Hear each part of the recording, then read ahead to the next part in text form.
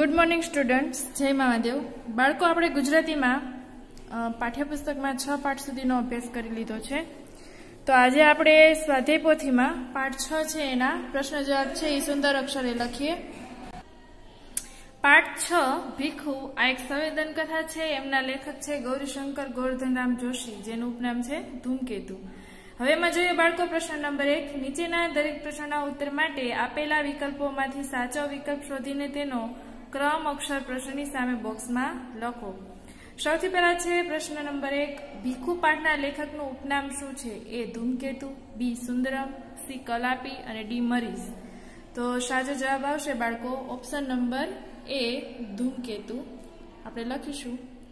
ત્યારબાદ પ્રશ્ન નંબર બે, વીજળીની રોશની શાનાથી ઝાંખી થતી હતી. એ ધુમાડાથી, બી મીલથી સી ચમકારાથી અને ડી સાંજથી. તો સાચો જવાબ આવશે ઓપ્શન નંબર એ ત્યારબાદ પ્રશ્ન નંબર ત્રણ. અહીં માણસોનો ઠઠારો એટલે એ ધક્કામુકી બી ભીડ સી મેળો અને ડી ઝગમગાટ. તો સાચો જવાબ આવશે ઓપ્શન નંબર બી ભીડ.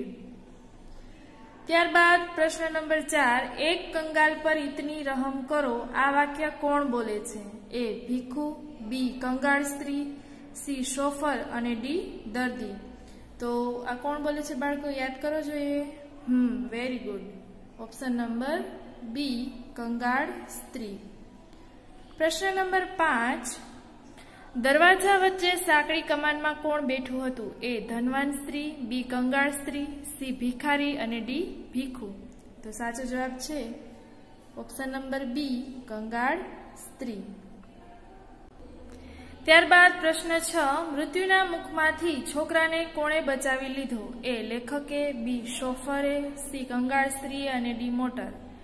તો સાચો જવાબ આવશે ઓપ્શન નંબર બી, શોફરે. પ્રશ્ન નંબર સાત સોફરે ઠપકા ભરી નજર કોના તરફ નાખી? એ છોકરા તરફ, બી, છોકરાની મા તરફ, સી, લેખક તરફ અને ડી, લોકો તરફ. તો સાચો જવાબ છે ઓપ્શન નંબર બી છોકરાની મા તરફ. પ્રશ્ન નંબર આઠ, પગથી પર ચડી ગયો એટલે? એ પગેથી ચાલીને ગયો, બી ફૂટપાથ પર ગયો, સી રોડ પર ગયો અને ડી એક પ્રકારના વાહનમાં ગયો. તો જ્યારે પાઠ સમજાવ્યો ત્યારે જ કીધું હતું બાળકો, પગથી એટલે જે લોકો પગેથી ચાલીને જતા હોય, રસ્તા ઉપર, એના માટે ચાલવાનો રસ્તો હોય અથવા તો ફૂટપાથ હોય, બરોબર? એને કહેવાય પગથી. તો અહીંયા આવશે ઓપ્શન નંબર બી ફૂટપાથ પર ગયો. પ્રશ્ન નંબર નવ, મીઠાઈની દુકાનમાં દુકાનદારે શા માટે રોશની કરી હતી? એ તહેવારને કારણે બી લોકોને આકર્ષવા, સી મીઠાઈ જોઈ શકાય તેથી અને ડી લોકોની ઠઠને કારણે. તો સાચો જવાબ છે ઓપ્શન નંબર એ, તહેવારને કારણે આપણે લખીશું એ. પ્રશ્ન નંબર દસ, ભીખુ પાઠમાં આ છોકરો સ્તંભ હશે? શબ્દનો અર્થ શું છે? એ નોકરી કરતો હશે? બી કુટુંબના જવાબદાર હશે, સી કમાતો હશે અને ડી અડગ. તો સ્તંભ હોવું એટલે તો કે જે કુટુંબમાં જવાબદાર વ્યક્તિ હોય, તો ઓપ્શન નંબર બી. ત્યારબાદ પ્રશ્ન અગિયાર, આ વાર્તાની ઘટના કયા શહેરની છે? A Ahmedabad, B Delhi, C Gondal અને ડી રાજકોટ. તો સાચો જવાબ આવશે બાળકો ઓપ્શન નંબર એ અમદાવાદ. હવે છે બાળકો, પ્રશ્ન નંબર બે. નીચે આપેલા વિધાનો ખરા છે કે ખોટા તે જણાવો. પ્રશ્ન એક. ભીખુ પાઠની ઘટના મુંબઈ શહેરની છે. તો આપણે હમણાં જ જોયું કે અમદાવાદ શહેરની છે. તો અહીંયા આવશે ખોટું. ત્યારબાદ પ્રશ્ન નંબર બે. એક શેઠીએ અને ગુલાબ જાંબુ ખવડાવ્યા. સૌથી પહેલા પ્રશ્નમાં પ્રિન્ટ મિસ્ટેક છે. અહીંયા મને આવે. અને ગુલાબ જાંબુ નથી આવતું. આખી જે પાઠ્યપુસ્તકમાં સ્ટોરી છે, એના આધારે જલેબી આવે છે. તો અહીંયા પણ આપણે કરીશું ખોટું. પ્રશ્ન નંબર ત્રણ, છોકરા એના ભાઈને વળગી પડ્યા. વળગી પડવું એટલે ભેટી જવું. તો સાચી વાત છે એટલા માટે સાચું. પ્રશ્ન ત્રણ, નીચેના વાક્યો કોણ બોલે છે તે લખો. જો સૂચના સમજો બાળકો, કોણ બોલે છે એ લખવાનું છે અહીંયા? કોને કહે છે એવું નથી પૂછ્યું. તો આપણે જેટલી સૂચના છે એ પ્રમાણે જવાબ લખીએ. પ્રશ્ન એક એક કંગાલ પર ઈતની રહમ કરો. તો આપણે લખીશું, આ વાક્ય, કંગાળ સ્ત્રી બોલે છે. ત્યારબાદ પ્રશ્ન બે, માં, કંઈ ખાવાનું છે? શું છે? લાવજો. અહીંયા લખીશું, આ વાક્ય આ વાક્ય ઊંઘમાંથી ઊંઘમાંથી જાગેલું ભિખારણનું છોકરું બોલે છે. ભિખારણનું છોકરું બોલે છે. પ્રશ્ન ત્રણ, ખાવાનું તો ભાઈ લાવે ત્યારે. તો સામે લખીશું. આ વાક્ય કંગાળ સ્ત્રી બોલે છે. પ્રશ્ન નંબર ચાર, એ આંખ પણ નથી કે શું? તો સામે લખીશું, આ વાક્ય પારસી બાનુનો પારસી બાનુનો શોફર શોફર એટલે કે ડ્રાઈવર સોફર બોલે છે. ત્યારબાદ પ્રશ્ન પાંચ. મેં તો બહુ દાળિયા ખાધા, ખૂબ પાણી પીધું. તો આપણે લખીશું. આ વાક્ય ભીખુ બોલે છે. આ વાક્ય ભીખુ બોલે છે. પ્રશ્ન છ. અત્યાર સુધી ક્યાં રોકાણો તો ભાઈ? તો સામે લખીશું. આ વાક્યમાં બોલે છે. આ વાક્યમાં બોલે છે. હવે જોઈએ બાળકો પ્રશ્ન નંબર ચાર. પ્રશ્ન નંબર ચારનો પ્રશ્ન એક. સૂચના જોઈ લે, નીચેના દરેક પ્રશ્નનો ઉત્તર એક એક વાક્યમાં લખો. એમાં પહેલું છે, બજાર સાનાથી ભરચક હતું. તો જવાબ લખીશું બાળકો આપણે. બજાર, મોટર, ગાડી સાયકલ. અને માણસોના ઠઠારાથી ભરચક હતું.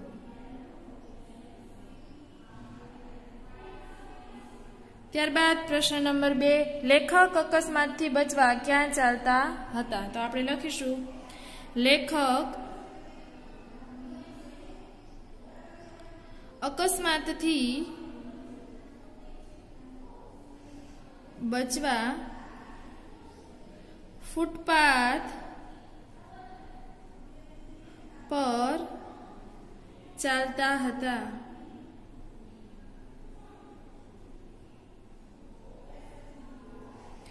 પ્રશ્ન નંબર ત્રણ, પારસી બાનુના પટાવાળાએ છોકરાને શું કહી ધમકાવ્યો? તો સાચો જવાબ લખીએ આપણે.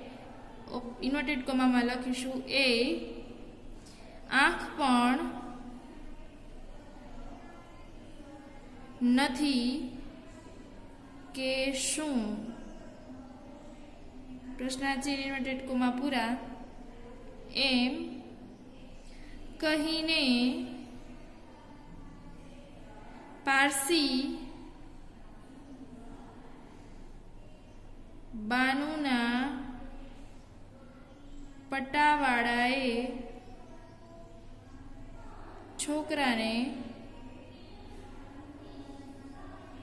ધમકાવ્યો. પ્રશ્ન નંબર ચાર, છોકરાની મા તરફ શોફરે શા માટે ઠપકા ભરી નજર નાખી? તો લખશું જવાબ, છોકરાનું ધ્યાન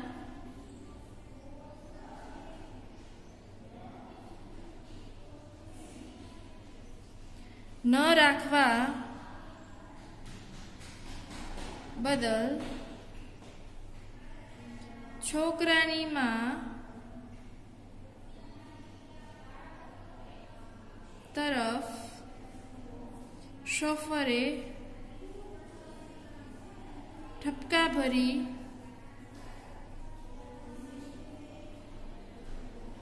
નજર નાખી. નજર નાખી ત્યારબાદ પ્રશ્ન પાંચ, ભિખારી છ પૈસાનો શું જોખાવતો હતો? તો લખીશું, ભિખારી એક દુકાને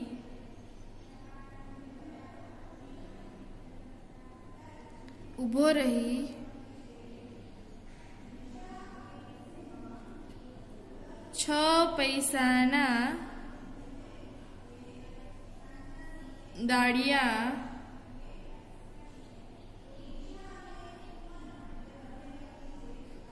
જોખાવતો હતો.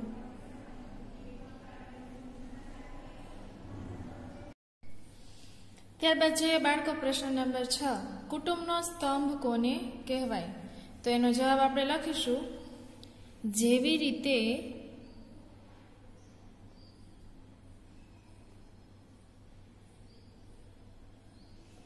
ઘરનો થાંભલો.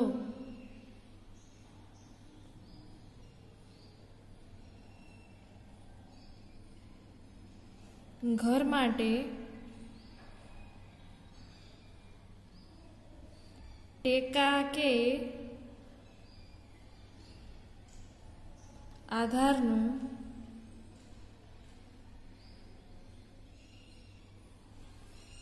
કામ કરે છે. કામ કરે છે. તેવી જ રીતે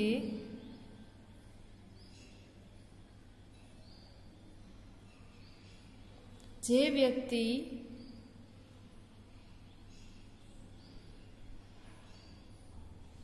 ઘર વ્યક્તિ પર સમગ્ર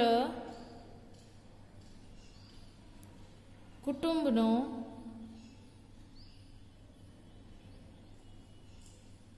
આધાર હોય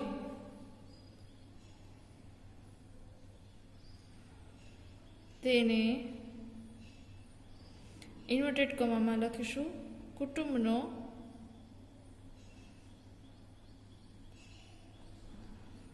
સ્તંભ કહેવાય ત્યારબાદ પ્રશ્ન નંબર સાત, છોકરા એના ભિખારી ભાઈને શા માટે વળગી પડ્યા? એનો જવાબ લખીશું, છોકરા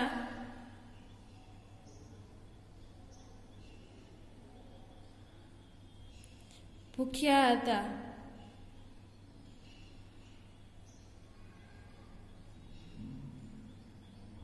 તેથી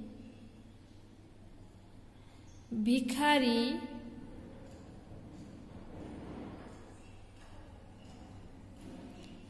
ભાઈ કંઈક લાવ્યો હશે.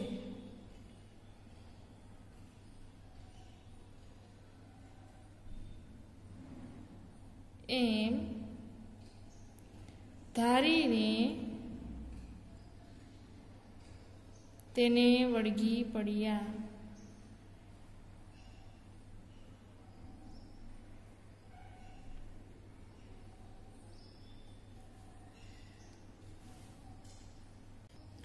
હવે જોઈએ બાળકો પાના નંબર એકત્રીસ ઉપર પ્રશ્ન સાત, નીચે આપેલા સંયોજકોનો ઉપયોગ કરી ખાલી જગ્યા પૂરો. અને, ને, પણ, તો. હવે પહેલો પ્રશ્ન જુઓ. નીચે આવીને જોયું ખાલી જગ્યામાં ક્યાંય દેખાય નહીં. તો અહીંયા આવશે સંયોજક તો. નીચે આવીને જોયું તો. માં ક્યાંય દેખાય નહીં. હવે છે બીજું, અવિનાશ ઉપર આવ્યો, સાથે ભાવિકા આવી. તો સંયોજક કયો આવશે બોલો જોઈએ? વેરી ગુડ પણ. ભાવિકા પણ આવી. ત્રીજો પ્રશ્ન, મોટર ગાડી, સાયકલ માણસોના ઠઠારાથી બજાર ભરચક હતું. તો અહીંયા આવશે અને.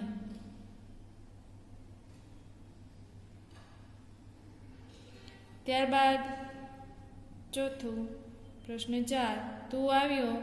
મને કહ્યું પણ નહીં. તો અહીંયા આવશે ને.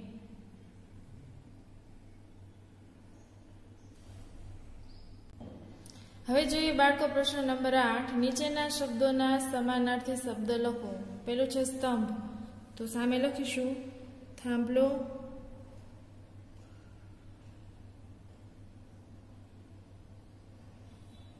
આધાર.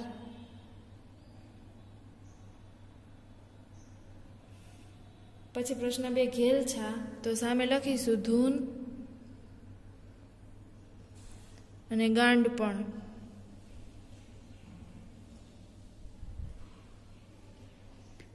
ઠઠ તો સામે લખીએ ભીડ ગીરદી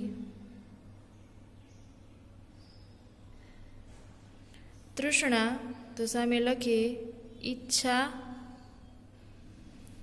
કામના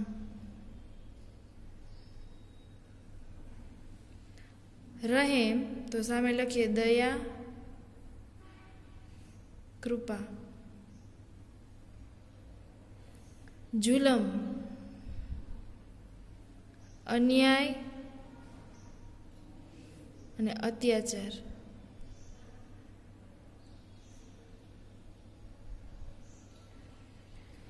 સાજું નિરોગી અને તંદુરસ્ત.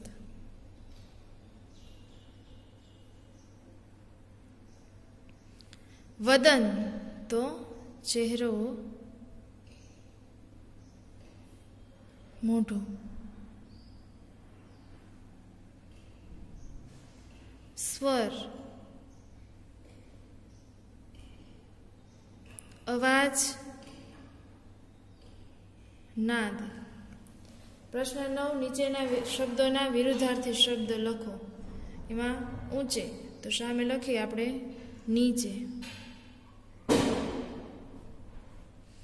ઝાંખું તો પ્રકાશિત.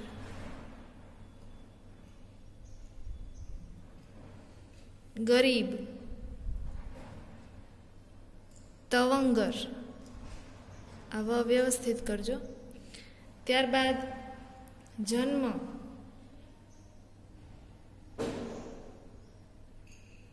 મૃત્યુ. મૃત્યુ. જન્મ. કંગાળ.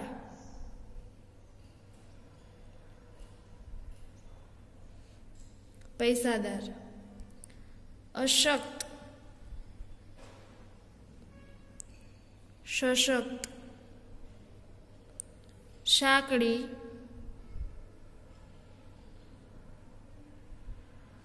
પહોળી. સુગંધ. દુર્ગંધ. સ્પષ્ટ. અસ્પષ્ટ. હાસ્ય. રુદન. આશા. નિરાશા. સંભાળવું વિસરવું.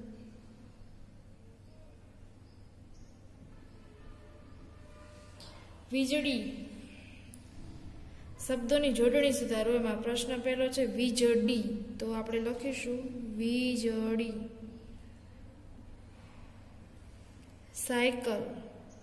તો સાચો શબ્દ લખાશે સાયકલ. અધર.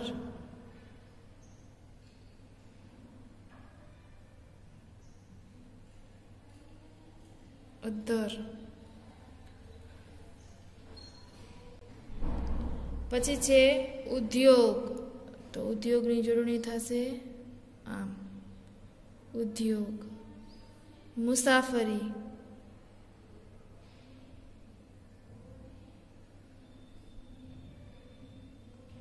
મુસાફરી. જલેબી. જલેબી, દાળિયા. અડને હસવાઈ. રૂજાય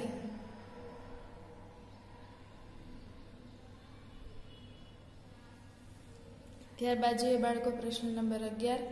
નીચેના રૂઢિપ્રયોગોનો અર્થ આપી વાક્યમાં પ્રયોગ કરો. એમાં પહેલું છે ઉગારી લેવું. તો એનો અર્થ લખીશું બચાવી લેવું.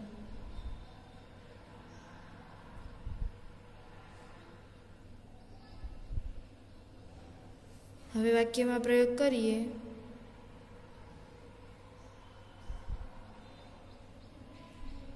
સોફરે અત્યંત ચાલાકીથી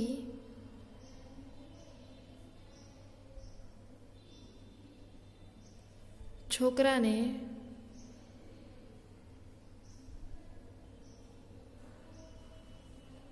ઉગારી લીધો.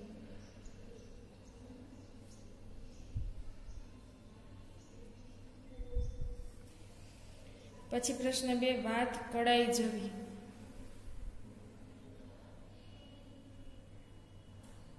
વાત સમજાઈ જવી. સ્વામીએ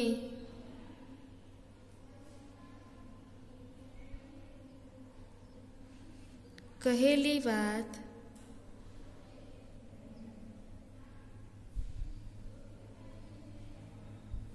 કળાઈ ગઈ.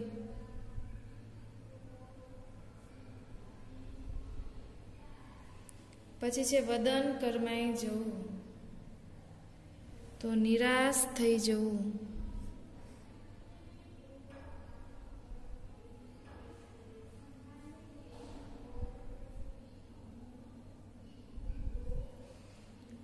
વારંવાર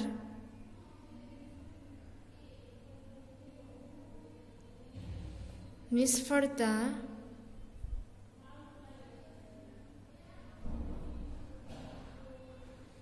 મળવાથી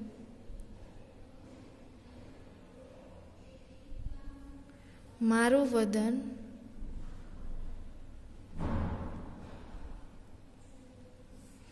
કરમાઈ ગયું.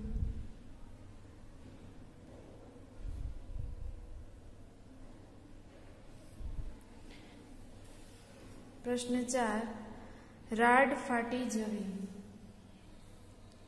તો આપણે લખીશું, ભયથી ચીસ પડી જવી. વાક્ય લખીએ, સાપને જોતા જ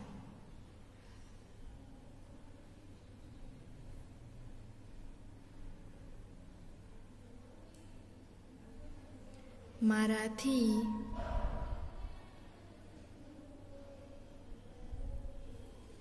રાડ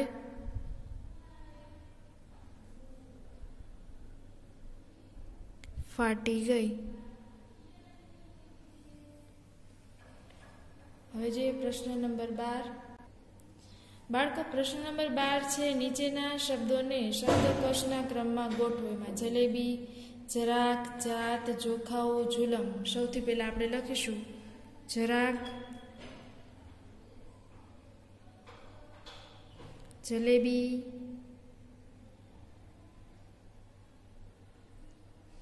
જાત જુલમ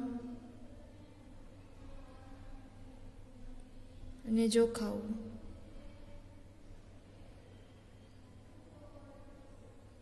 પ્રશ્ન તેર, નીચેના શબ્દ સમૂહ માટે એક એક શબ્દ આપો. પ્રશ્ન પહેલો, રસ્તાની બાજુ પર પગે ચાલનારાઓ માટેનો રસ્તો. હવે જ્યારે આપણે જે જાહેર રસ્તા ઉપર જતા હોય ત્યારે જે લોકો ચાલીને જાય છે એના માટે અલગ રસ્તો હોય, બરાબર? તો એને શું કહેવાય? તો ફૂટપાથ. પ્રશ્ન બે, મટકું પણ માર્યા વિના એટલે આંખ છે એના પલકારા આપણે થતા હોય અને એમ ન કરીએ અને એક ધારું સતત જોયા કરીએ, તો એને શું કહેવાય? તો અનિમેશ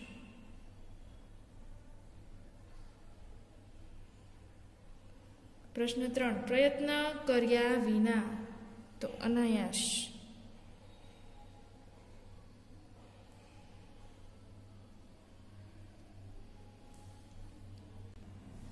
પ્રશ્ન નંબર ચૌદ, આ પાઠમાં વદન નામનો શબ્દ છે. આ શબ્દમાંના અક્ષરોનો ઉપયોગ કરી બીજા શબ્દો બનાવી શકાય. જેમ કે વદ, વન. હવે જુઓ, બાળકો, પહેલો પ્રશ્ન છે, આ ઉપરાંત બીજા શબ્દો બનતા હોય તો બનાવો. હવે આ તો એકદમ ઇઝી છે, બરોબર? તો સૌથી પહેલા આપણે શબ્દો બનાવીએ. આપણે લખીશું. નવ વન, દવ દન અને નદ. નવ, વન, દવ, દન અને નદ. હવે શું કરવાનું છે? તો કે આ શબ્દો છે ને, એનો અર્થ શબ્દકોશમાંથી મેળવવાનો છે. શબ્દકોશ પ્રમાણે આ બધા શબ્દોનો અર્થ શું થાય? તો સૌથી પહેલાં છે અહીંયા આપણને જે શબ્દ આપ્યા છે, બરાબર? એમાં સૌથી પહેલાં વધ તો એનો અર્થ થાય બાળકો કૃષ્ણ પક્ષ. જેમ એક મહિનામાં પંદર દિવસ અંજવાળ્યું હોય, પંદર દિવસ અંધાર્યું હોય, તો જે અંધાર્યું હોય, ચંદ્રની કળા છે એ જેમ જેમ ઘટે, એમ એનો પ્રકાશ ઘટે, તો એને કહેવાય કૃષ્ણ પક્ષ. બરાબર? અને જ્યારે એનો પ્રકાશ છે એ વધતો જાય, તો એને કહેવાય શુક્લ પક્ષ. તો અહીંયા વધ એટલે કૃષ્ણ પક્ષ, પછી વન એટલે તો જંગલ. નવ.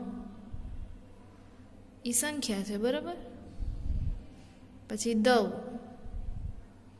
તો દાવાનળ, આગ લાગે જંગલમાં. એને દાવાનળ કહેવાય, બરાબર? દન. તો દિવસ અને નદ. તો નદી. હવે જુઓ બાળકો, પ્રશ્ન ત્રણ, આ શબ્દનો ઉપયોગ કરી વાક્યો બનાવો. તો આપણે સૌથી પહેલાં વાક્ય બનાવી. ક્રમ આપતા જશું. આજે શ્રાવણ વદ આઠમ થઈ. હવે બીજું. વનમાં આગ લાગી.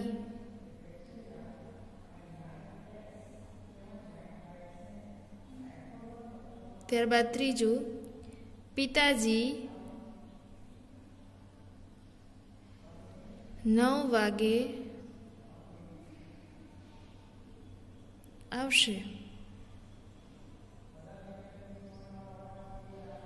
ત્યારબાદ ચોથું લખીએ બાળકો જંગલમાં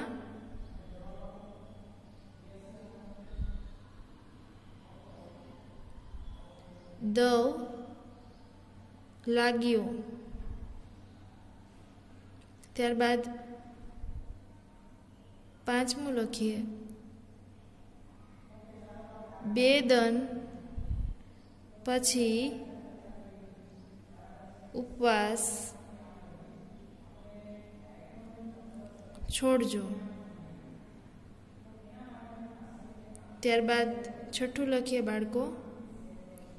નદના પાણીમાં હોડીઓ તરે છે. હોડીઓ તરે છે. ત્યારબાદ જોઈએ બાળકો પ્રશ્ન નંબર પંદર. આપેલા કોષ્ટકમાંથી નવ તેજસ્વી અને પ્રેરક બાળકોના નામ શોધીને લખો. હવે આપણે લખતા જઈએ. સૌથી પહેલું નામ તમને ધ્રુવ આપેલું છે, બરાબર? પછી લખીશું આપણે કુશ.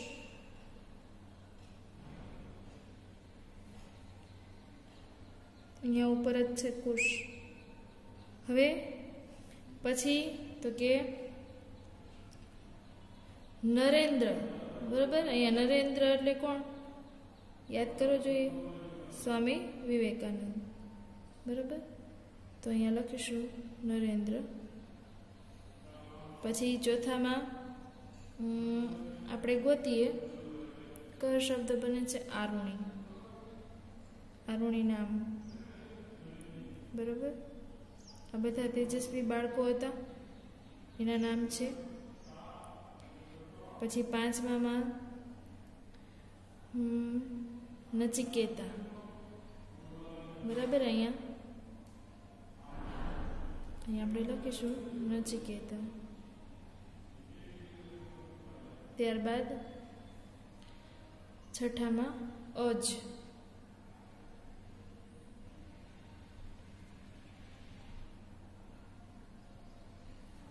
પછી લવ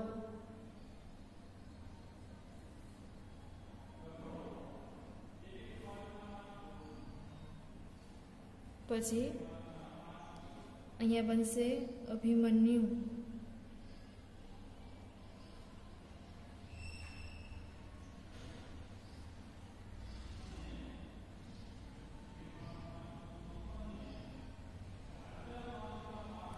પછી ઉપમન્યુ.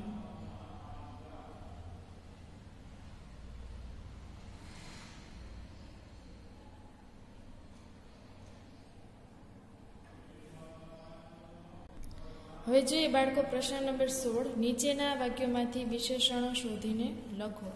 નામના અર્થમાં વધારો કરે એને વિશેષણ કહેવાય. બરાબર? સૌથી પહેલાં બાળક ભૂખ્યું હતું, તેનું મોં દયામણું હતું. બાળક સૌથી પહેલા છે, તો એ કેવું હતું? તો કે ભૂખ્યું. અને બીજો શું શબ્દ વધારો કરે છે? તો કે કેવું લાગતું હતું? તો કે દયામણ. બરાબર? તો આપણે બંને શબ્દો નીચે અંડરલાઈન કરીશું. સૌથી પહેલું વિશેષણ થશે ભૂખ્યું હતું અને અલ્પવિરામ દયામણ. બરાબર? હવે જોઈએ પ્રશ્ન બે. એક અત્યંત કંગાળ સ્ત્રી ત્યાં બેઠી હતી. હવે સ્ત્રી છે, એના વિશે વાત છે. સૌથી પહેલા વિશેષણ કયું થશે? એક, અત્યંત એટલે ખૂબ જ, કંગાળ એટલે ગરીબ. એક, ખૂબ ગરીબ. ત્રણ વિશેષણ થયા. એક, અત્યંત અને કંગાળ. બરાબર? હવે પ્રશ્ન નંબર સત્તર, નીચેના વાક્યોમાંથી વિશેષણ શોધીને લખો. ક્રિયા વિશેષણ પ્રશ્ન સોળ ઉપર જો બાળકો, વિશેષણ છે. જે નામના અર્થમાં વધારો કરે ને એને વિશેષણ કહેવાય. જે ક્રિયાના અર્થમાં વધારો કરે ને એને ક્રિયા વિશેષણ કહેવાય.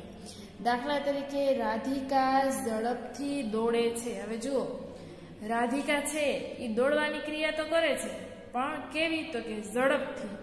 તો એના અર્થમાં વધારો થયો ને, તો ઝડપ શબ્દ શું થયો? ક્રિયા વિશેષણ થયું. તો એવા શબ્દો જ ગોતવાના છે. જુઓ, સૌથી પહેલા, મોટર આગળ ચાલતી હતી. હવે મોટર ચાલતી તો હતી, ક્રિયા તો એની છે જ, પણ ક્યાં? તો કે આગળ. બરાબર? તો આ એનું શું થયું? ક્રિયા વિશેષણ. યાદ રાખજો. હવે જુઓ, પ્રશ્ન બે, બજાર ભરચક હતું. હવે આમાં ક્રિયા કાંઈ નથી, બાળકો. બજાર ભરચક હતું. ક્રિયા નથી દર્શાવી કાંઈ, કે આમાં કોઈ ખરીદી કરી રહ્યા છે કે એવું કાંઈ, બરાબર? આ આ વાક્ય છે ને આખે આખું, એમાંથી આપણે વિશેષણ ગોતી ગોતું હોય ને તો ગોતી શકીએ, પણ ક્રિયા વિશેષણ મળતું નથી. ભરચક છે ને એ વિશેષણ થશે, એટલે આપણે એ લખીશું. ભરચક. કાઉન્સમાં લખીશું વિશેષણ છે. કેવું છે? વિશેષણ. ક્રિયા વિશેષણ છે નહીં. યાદ રાખજો. પછી છે ત્રીજું, હું પાછો હટ્યો. હટવાની ક્રિયા થઈ છે, પણ ક્યાં? આગળ પાછળ દર્શાવ્યું છે ને? શું? તો કે પાછો, એટલે કે પાછળ હટ્યો. તો આ શું થયું એનું? ક્રિયા વિશેષ. ચલો બાળકો, હવે બધા પ્રશ્નના જવાબ છે એ તમારે સુંદર અક્ષરે વ્યવસ્થિત મોતીના દાણા જેવા અક્ષરે લખી લેવાના છે. અને વાંચવાનું છે, બરોબર? સ્ટે હોમ સ્ટે સેફ જય મામા દેવ